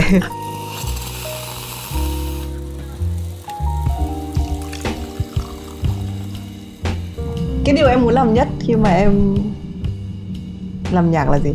Mục tiêu. Trong sự nghiệp. Ừ. kế hoạch 5 năm lần thứ nhất. Em muốn ờ, đưa âm nhạc của mình ra nước ngoài. Đấy là cái điều chắc chắn. Đó là luôn là cái ước mơ của em. Và theo em thì cái gì cản trở lớn nhất? Ngôn ngữ bây giờ không phải là cản trở nữa. Ừ. cái câu chuyện này thực ra trong ờ, cái series không cách không về mình nhắc rất là nhiều vì chị cũng thấy là trước đấy các cái thế hệ trước đấy họ sẽ có nhiều cái cản trở và đi ra nước ngoài nó là một cái nó là Paris by Night nó là diễn cho các cộng đồng người Việt còn ừ. bây giờ với các cái nền tảng chúng ta có mọi công cụ trong tay và có một cái nói chung là có cả một cái biển xanh phía trước mặt đúng không? Ừ. À, và nhiều người cho rằng ví dụ như hồi xưa rap với hip hop mọi người nói là ôi tiếng Việt rap khó lắm cho nên đã chả hiểu gì bla bla bla nhưng bây giờ mình sẽ thấy mình sẽ thấy rapper nở rộ và họ không có cái vấn đề ừ. giữa việc là mình có thể vừa tiếng Anh cả tiếng Việt và yeah. ngôn ngữ nó không phải cản trở thì theo em cái cản trở lớn nhất để đi ra nước ngoài là gì cái này nó từng suy nghĩ cách đây không lâu rằng là bây ok bây giờ nếu mình làm nhạc tiếng Anh ra thì người Mỹ người ta nghĩ, nghĩ như nào? Người Anh người ta nghĩ như nào? Người ờ, Canada người ta sẽ nghĩ như nào? Bởi vì đối với em thì đấy là những cái cái um, cái market lớn nhất. Nếu mà có consume nhạc của em ấy ừ. có, có một giai đoạn em nghĩ rằng là không biết là mình là người châu Á thì nó có ảnh hưởng gì không? Về cái câu chuyện này nó nó nó khá là thực tế như là thực tế mà nói ở bên Mỹ có rất nhiều Asian American người Á uh, người người Mỹ gốc Á ở bên đó cũng là nghệ sĩ và họ cũng làm nhạc nhưng mà họ cũng gặp gặp vấn, gặp rất nhiều vấn đề về cái việc là nó họ là người châu Á thì nói không ở đây em không nói là người ta phân biệt chủng tộc hay cái gì được ừ. nhưng mà chỉ là cái vấn đề nó sẽ có nhất là nó ừ. yeah, nó sẽ có một cái distance ừ. với những nghệ sĩ mà từ châu Á ừ. mà làm nhạc tiếng tiếng tiếng của mình ừ.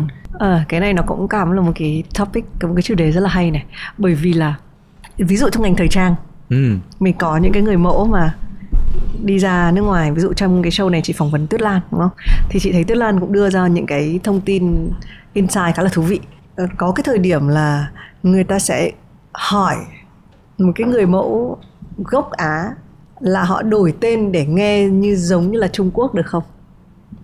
Ừ. Bởi vì cái thị trường Trung Quốc à. lại là cái thị trường mà các cái hãng thời trang muốn đánh ngược lại uh-huh. nên sử dụng một cái người mẫu Trung Quốc thì không phải là cô ấy đã đi được đến Mỹ uh, với tư cách là một người gốc Á ừ. mà là người Mỹ dùng người Trung Quốc để đánh ngược lại thị trường Trung Quốc à, à, và à. chiến thắng cái thị trường đấy ngược lại giành giật cái thị trường đấy. Ừ. Ừ. Đôi khi khi một người đến từ Việt Nam đến thì những hãng maybe Spotify, Apple Music họ sẽ nghĩ rằng là tôi thích cái người này để đánh ngược lại cái thị trường mà anh ta đến từ. Ừ, ừ, ừ, ừ. YouTube là một cái ví dụ người Việt Nam mình xem YouTube kinh khủng khiếp. Tại sao cái anh hồi xưa có một anh mà cứ hát đếm số anh soi y tiết ấy chẳng hạn ừ. thế. Tất cả các ngôi sao đều lăng xê. One two. Đấy one two three fifty for fifty. Thì nhưng mà tại vì cái thị trường những người mà xem YouTube ở Việt Nam ấy là một cái thị trường cực kỳ mạnh. Yeah. so với phần còn lại của thế ừ. giới. Đấy thì chị thấy nó có một cái sự mâu thuẫn là đôi khi chúng ta nghĩ rằng là tất nhiên mình sẽ nói những câu chuyện rất là cliché theo kiểu là à tôi người đấy giỏi người này không giỏi nó lại cái việc là à công ty nào đấy ừ. muốn chinh phục một cái thị trường nào đấy ừ. và sẽ chọn người đến từ cái thị trường đấy hay không nhưng mà bây giờ chị hỏi này một cái nghệ sĩ đến từ Việt Nam ừ.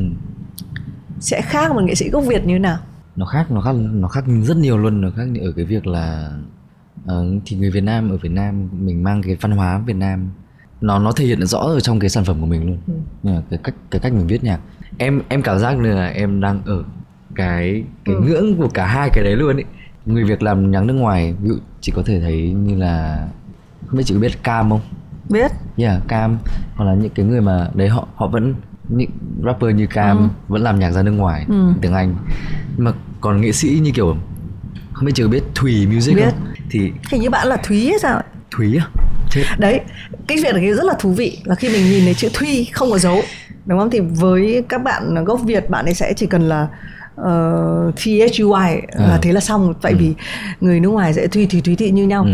hôm nọ chị xem bạn ấy diễn ở Việt Nam bốn bài ừ. và bạn bảo là ở nhà mọi người gọi tôi là Thúy béo ừ. thì chị mới là ô oh, cái bạn này là dấu uh, sắc yeah. Đấy, anyway đúng có một người chị thấy cũng rất là hay em em dùng hai cái ví dụ đấy để để nói với chị là em là ở giữa luôn ừ. cả hai người đấy em cảm giác như thế ừ. để để nói là em em thực sự là từ cái văn hóa Âu Mỹ thì chắc chắn là không hoặc là một trăm phần trăm văn hóa Việt Nam thì cũng chắc chắn là không ừ. nhưng mà em biết là background của chị Thúy hoặc là của anh Cam nó đặc nó đặc nó đặc thù của hai bên luôn nó mang nó mang những cái nét văn hóa ví dụ Cam sẽ sẽ ở Việt Nam lâu hơn sẽ hiểu rõ cái văn cái văn hóa Việt Nam hơn là em rất ừ. là nhiều. Thúy ở Mỹ thì từ bé rồi. Em chỉ ở giữa. Ừ. yeah. em có biết nghệ sĩ có thể em biết. Em có biết nghệ sĩ gốc Việt mà được nghe nhiều nhất trên thế giới không? Thái Gà được rồi. Ồ, cụ thể hơn là được nghe nhiều nhất trên Spotify. Bạn Casey Casey oh.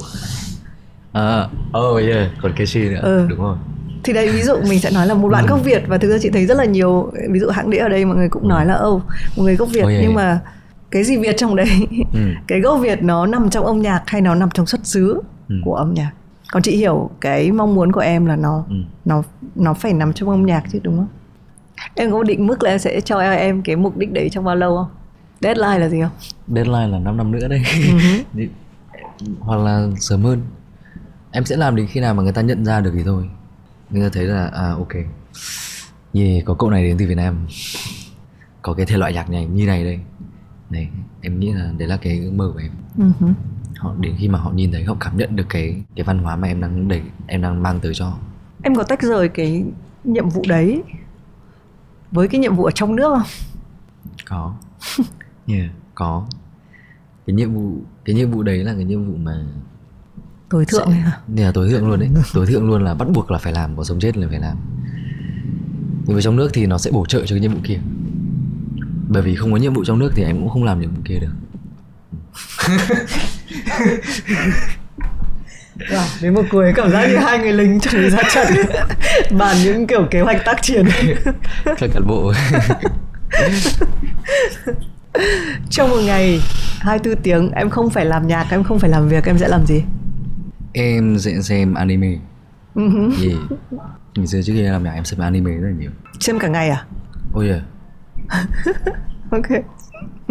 Who, who watch anime ừ. for like an hour? Oh nhắc đến cái đấy chị sẽ muốn hỏi thêm một chút là thực ra bây giờ âm nhạc nó không nó không bao giờ là chỉ âm nhạc. Ừ. hay là nó là chỉ âm nhạc? Bởi vì nhá nó là hình ảnh này. Chị nghĩ là em biết cái điều đấy mọi người khen em là oh cái hình ảnh của Ben Seven này thời trang của Ben Seven này. À. gì đã nhờ hết nhỉ cái uh, MV của Ben Seven ừ, này. các cái MV này. Đấy thì những cái um, nguyên liệu đấy nó diễn ra như thế nào trong đầu em? Em có phải nghĩ đến tất cả những cái yếu tố đấy cùng một lúc hay là có trình tự nó có trình tự chị bởi vì là nhạc trước. Nó nó như kiểu là chị bởi vì tất cả những thứ đó nó đều gộp lại vào thành một bức tranh uh-huh. trong đầu em. Bởi khi chị vẽ ra bức tranh thì I guess like mình sẽ không biết được rõ ràng nó như, như, như nào. Nhưng mà sẽ từng bước từng bước một từng bước một thì được cái đơn đầu tiên thì rõ ràng là nó là cái cái động cơ để làm nhạc. Tại sao tớ lại phải làm nhạc cái thời điểm này? Ok giải quyết cái đấy xong là cái bài nhạc tớ muốn truyền tải rõ ràng là nó nó như thế nào bài nhạc xong thì mới đâu đến cái hình ảnh cái tạo hình của mình nó nên như thế nào. Tạo hình xong thì sẽ đến cái gì nữa nhỉ? Cái màu chủ đạo nó sẽ như thế nào? Thời trang trong đấy nó sẽ phản ánh cái điều gì? Ừ.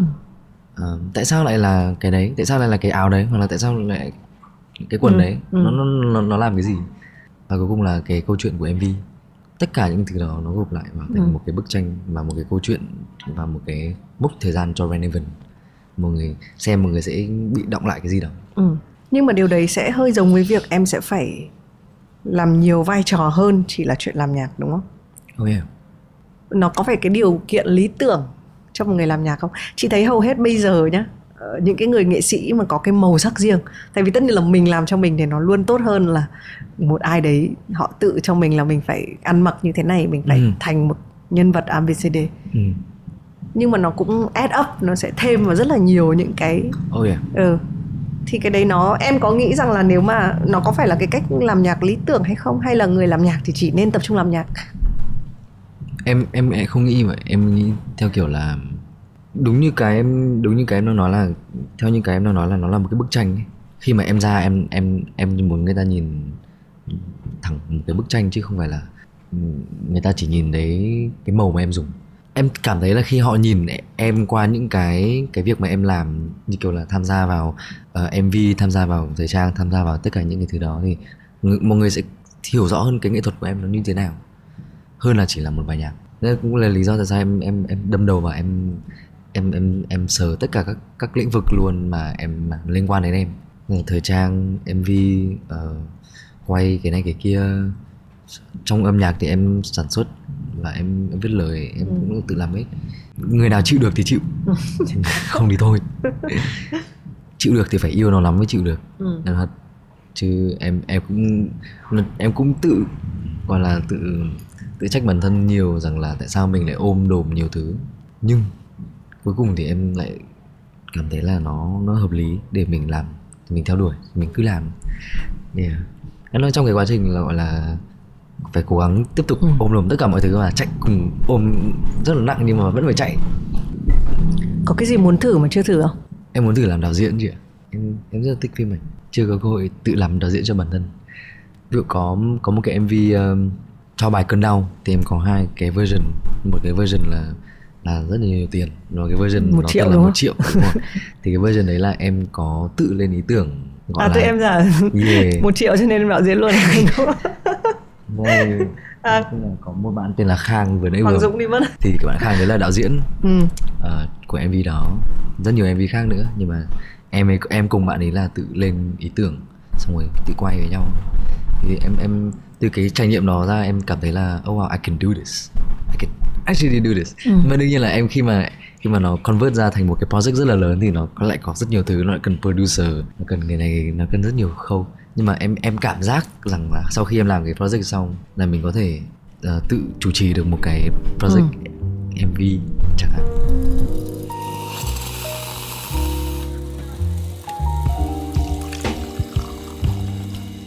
Chị muốn tò mò thêm một cái nữa. Đấy là hồi xưa nhá người ta sẽ có mức độ đầu tư budget cho một cái project. Đúng không? Sao em, sao, sao, sao em cảm em lại cảm thấy được cái câu hỏi rồi đâu em theo em nghĩ chị hỏi câu gì? Ví dụ trong một cái budget như vậy thì mình mình phải sử dụng nó như thế nào mới hợp lý cho một cái em nghe cho những để để đáp ứng lại cái cái yêu cái nhu cầu nghệ thuật đúng không? Không. Không phải. Thế thế là em vấn đề... có vẻ bị ám ảnh về chuyện là, với một budget như này. Đây là vấn đề của mình rồi. Đúng không? Thế em có bị ám ảnh về chuyện tại vì thực ra chị biết em khi mà em làm em join vào Mono X chẳng hạn thì không phải là việc là em chỉ là nghệ sĩ mà em cũng phải cần đo đong đến rất là nhiều thứ yeah. khác tuy nhiên cái phần này nó hơi khô chị không muốn đụng vào thực ra chị muốn hỏi là chị muốn hỏi là tại vì hồi xưa nhá các nghệ sĩ mỗi lần mà nghĩ đến chuyện quay MV là họ họ biết là họ phải đầu tư ừ. bởi vì hồi đấy MV sẽ được phát trên uh, đài truyền hình ví dụ như thế nó à, sẽ có một số các kích chuẩn. Yeah. còn bây giờ thì chị cảm giác cái ranh giới giữa cái việc mv tiền tỷ với lại mv một triệu đồng ừ. cuối cùng là người ta vẫn nhìn là cái view cái đấy là cái gì? Đúng không? Đúng rồi. Thành ra nó lại hơi hay ở chỗ tức là view nó nó cào bằng nhiều cái thứ khác sẽ không bàn đến. Ừ. nhưng rõ ràng nó cho thấy là âu tiền không phải sức mạnh duy nhất trong việc ra một cái sản phẩm yeah. nó bằng cách nào đấy nó lại highlight được cái sự sáng tạo uh-huh, uh-huh. đấy đấy thì chị không biết cái quan điểm của em là nó cũng là một cái thứ mà tại vì hồi xưa các nghệ sĩ mà nghĩ đến chuyện ra mv là họ biết là họ phải đầu tư cực kỳ nhiều tiền uh tại vì họ không biết cái option thứ hai là quay bằng điện thoại ư yeah, hay là yeah. hay là một cái gì đấy chỉ cần uh-huh. bởi vì chúng cái lứa tiếp theo này mọi người được xem những cái thứ mới uh-huh. rất là sáng tạo rồi uh-huh. nó phá cái cái cái khuôn mẫu của mình kiểu nó mở ra một cái đường mới toanh luôn ừ. mà ai cũng có thể đi được ừ. nhưng mà tại sao phải làm cả hai kiểu mv kiểu à. một triệu và kiểu và kiểu mất mất nhiều tiền mà nghe chữ budget là em đã mặt em đã hơi xanh rồi nghệ sĩ cũng phải đi lo tiền nong Ừ. nghệ sĩ cũng phải lo budget chứ không chứ nghệ, nghệ sĩ chuyên nghiệp thì thì bắt buộc là phải biết những cái thứ đó bắt đầu bắt buộc phải biết cân đo đong đếm có budget là phải biết làm trong cái budget đó thì em nói thật với chị là cái cơn đau là một cái cái cái learning. Là một cơn đau à đó là một cái bài học cho em Ừ. bởi là em em em em vừa làm một cái MV rất nhiều tiền cộng với cộng với một cái MV nữa mà em tự làm ừ. ở Hà Nội trong một cái, trong một cái, cái cái chuyến đi về Hà Nội thôi. Em làm rất là nhanh. Em em học được hai điều rằng là nhiều tiền hay ít tiền nó là cái động cơ. Nó quay lại là cái động cơ của mình tại sao mình phải làm cái MV đó? Ừ, và tại sao nó nó nó được ít tiền và tại sao nó, nó cần phải nhiều tiền? Cơn đau đơn giản có rất nhiều cách để truyền tải cơn đau. Cơn đau có thể truyền truyền tải một cách rất là hào nhoáng. Ờ, cơn đau của người này người kia cơn đau của tổng thống cơn đau của người này đấy. Nhưng mà cơn đau nó cũng có thể có thể là một cái cơn đau rất là cá nhân trong cái phiên bản cơn đau một triệu đó thì em nó, nó cá nhân hơn. Nó là những cơn đau thật sự của em luôn. Và là những cái hình ảnh nó nó nó gần gũi rất là gần gũi thì thế đấy, cơn đau nào nhiều view hơn nhỉ? Cơn đau kia. Ok. Nhưng mà ý của chị đây là tại sao mình phải làm hai cơn đau cơ? Tại sao mình không nghĩ là ok cái budget như này mình làm cái nhiều tiền là được rồi. Tại sao mình vẫn phải làm một cái một triệu? Chỉ là cơn đau cái bản cơn đau một triệu là cái bản mà em đã làm từ là làm trước rồi. Có nghĩa là em về Hà Nội đâu đấy là em viết bài cơn đau rất là nhanh hai ngày xong xong xong. Ngày hôm ngày thứ ba đi quay luôn ngày thứ tư, ngày thứ ba quay tiếp. Và trong trong đúng trọn vẹn một tuần là em đã có cái project cơn đau đấy rồi. Em mang về. Thì khi mà em có cho team của em xem và trong mọi người xem, mọi người cân đo đong đếm với nhau thì mọi người cảm thấy là bây giờ đang có một cái khoản tiền này, tại sao mình không có thể, mình không đầu tư tiếp vào cân đau? Mình làm một cái MV mà nó nó mang tính đại chúng hơn. Đối với mọi người thì mọi người sẽ có cảm giác là cái MV nhiều tiền hơn, nó sẽ dễ tiếp cận hơn.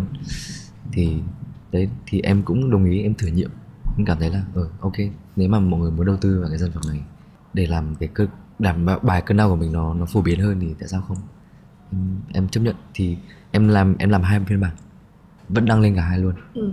nhưng mà chị cũng hơi ước là nó có plot twist là một cái phiên bản nó có thể nó chả cầu kỳ nhưng nó cá nhân nó nhiều view hơn Ừ. để nó khuyến khích người ta yeah, chị nghĩ một cái mức độ đầu tư nó cũng cho thấy cái sự nghiêm túc với cái dự án đấy ừ, ừ. Ờ, nhưng đấy mình cũng hay mình hay thích underdog hơn mình hay thích những Yeah. cái gì đấy mà có thể nó hơi thực ra có một cái cái ví dụ khác ở trong showbiz khi mà Bích Phương ờ, ra cái bài em bỏ hút thuốc lá chưa ấy Ờ, thì hồi đấy chị có trêu chị hỏi là làm cái này bao nhiêu tiền có đến 5 triệu không? Thì bảo là không tận 8 triệu. Nhưng mà cái cái MV đấy độ view hay là cái độ phổ biến của nó thì nó cũng không thua kém gì những cái bài nó một cú lừa hay là đấy thì nó quay về nó cũng cho mình một cái niềm tin vào âm nhạc. Tất nhiên không thể nào bài hát nào của mình cũng chỉ quay về cái giá một triệu tại vì nó sẽ không showcase được cái độ chuyên nghiệp và Ừ. cái mức độ Yeah. nghiêm trọng nghiêm túc của cái dự Ừ, án ừ, ừ. Ừ, nhưng mà chị nghĩ là đúng là vẫn là cái câu chuyện cái cái sự tự do của thời nay Ừ. là chúng ta có thể cho phép mình như thế này và như thế Ừ. kia và chị nghĩ cái sự thả lỏng trong việc là à có thể tôi chỉ cần dùng như thế này nó cũng Ừ. là là một cái sự tự do quan trọng chị nhìn chị nhìn lâu gì chẳng hạn khi mà anh ấy tự quay Ừ.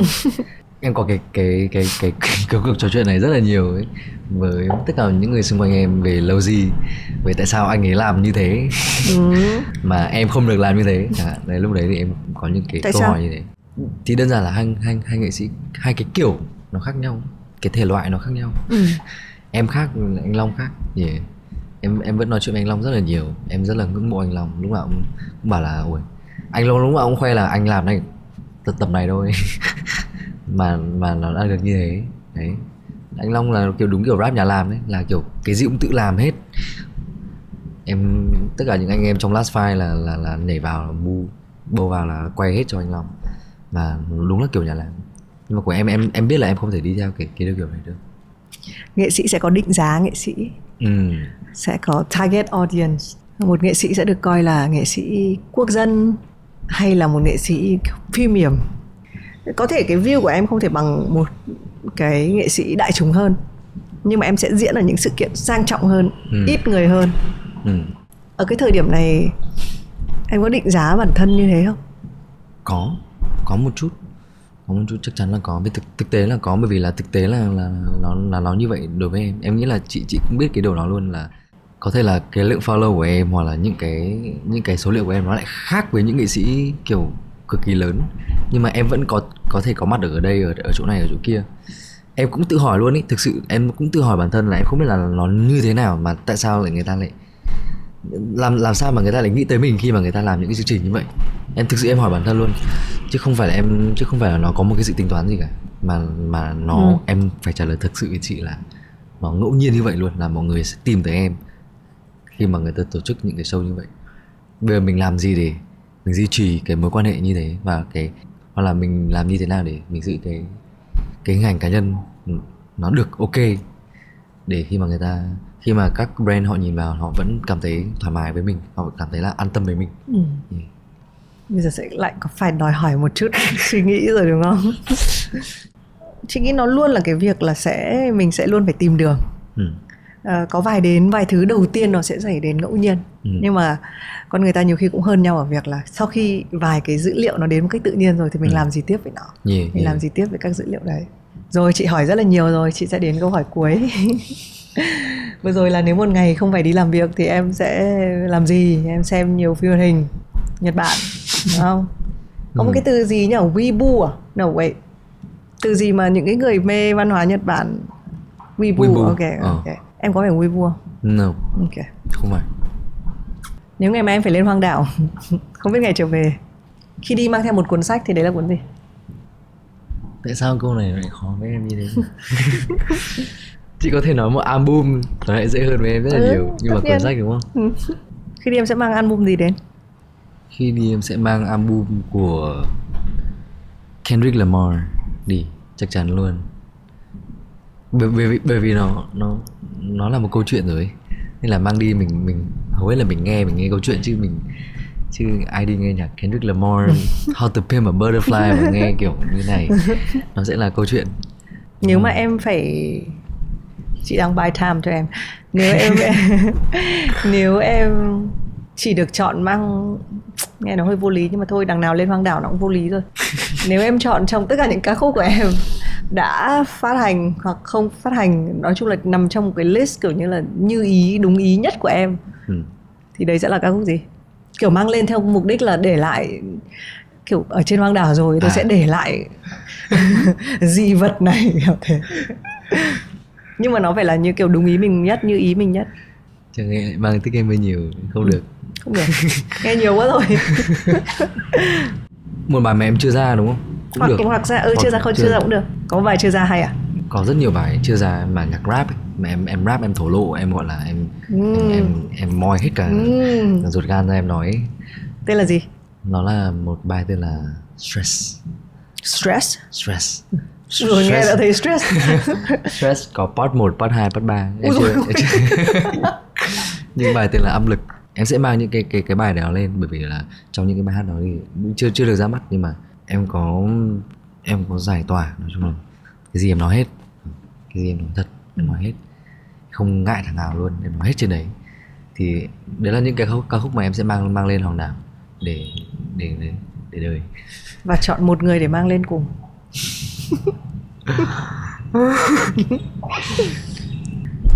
Chắc mang chị Thủy Minh đến đấy. Vậy thì ra đảo đừng nói chuyện chờ đỡ. Câu này lách được nhanh quá. À. về có người được bị dạy một bài học. Sau khi podcast này lên sóng. Thiếu tinh tế. Thiếu tinh tế đấy. Thiếu tinh tế. Nếu em lên hoang đảo ngày đầu tiên à. ca khúc đầu tiên đấy ca khúc đầu tiên sẽ viết được trên hoang đảo tên là gì? Ừ. áp lực bốn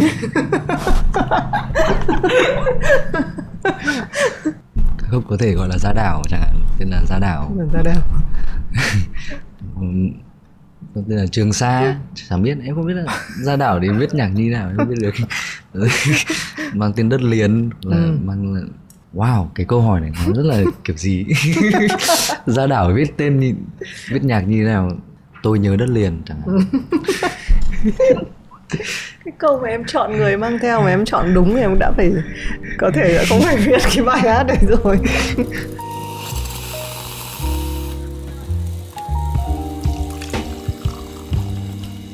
chị biết là em có EP sắp ra mắt. Ừ. ừ. trong đấy không có áp lực một hai ba mà có gì? Có không? Không có. Không không có không Ừ. có chị có biết tên tên EP không? Không. EP tên là chiều hôm ấy anh thấy màu đỏ. Ok. Do chị cười. Hay. Chị có tò mò chiều hôm ấy anh thấy là chị đang tò mò rồi. Chiều Xem hôm cái ấy gì? anh thấy màu đỏ. tại sao màu đỏ tại sao màu đỏ? Bởi vì là màu đỏ là cái màu mà nó gắn liền với uh, cái quá trình mà em làm EP đó. Ừ. quá trình lớn lên của em luôn. Màu đỏ là một cái màu em thấy rất là nhiều. Có lẽ là khi mà chị chị Thùy Minh khi mà chị thấy những cái artwork của em Ừ, ừ, ừ. những cái gì mà liên quan đến Evan chị thấy sẽ thấy rất nhiều màu đỏ mà không có chú ích luôn. Không không bởi vì là do do em cố gắng em gàn ghép cái màu đỏ vào trong mà chỉ là màu đỏ nó, nó tự dưng nó xuất hiện khi mà những người mà xung quanh làm việc với em họ tự gắn mác cái màu đỏ đúng không và với trải nghiệm cá nhân thì màu đỏ là một cái màu mà, mà em em em em em tưởng tượng được ra ấy. Ờ, trong trong những cái ngày mà em cảm thấy là em em đang stress hoặc là em đang nó có một cái drama nào đó ở trong đầu thì tự nhiên ở trong não em lại hiện lên màu đỏ. Khó giải thích nhưng mà chiều hôm ấy anh thấy màu đỏ. Là bởi vì chiều hôm ấy cái lý do chiều hôm ấy là bởi vì là em em làm việc rất là khuya. Em ngủ xuyên xuyên ngày rồi. Thì cái, cái buổi duy nhất mà em là buổi chiều. Là buổi chiều yeah. cái buổi duy nhất mà em được làm cái này cái kia là buổi chiều. Nên là chiều hôm đấy anh thấy màu đỏ và cái buổi quay này cũng vào buổi chiều. Yeah. buổi chiều cũng đang muộn. Ánh sáng đã tắt đang dùng hoàn toàn bằng đèn. Và em gọi là EP ra nốt tức là em đang ra nốt nốt bài nào trong đấy có bao nhiêu bài nào trong đấy có có một vài có con hai bài nữa cùng, cùng với những cái bài mà gặp may cơn đau thích em ừ, ừ. và có một vài cái interlude một vài những cái cái điều mà em muốn nhắn nhủ với ờ, với fan của em Ừ. yeah. và hình ảnh thì sẽ là màu đỏ hết không có yeah. tưởng tưởng tên album là chiều anh màu đỏ xong rồi cả một cái ấy cái artwork là màu xanh lúc đấy sẽ kiểu xoắn não xoắn lắm không em em sẽ không làm như thế ừ. không nó sẽ có màu đỏ Ừ. chiều hôm đấy và ra vào Giáng sinh à? Dạ. Vì Ờ, oh, tháng 11 tháng 11 Ok, xin 25 tới tháng 11. thấy màu đỏ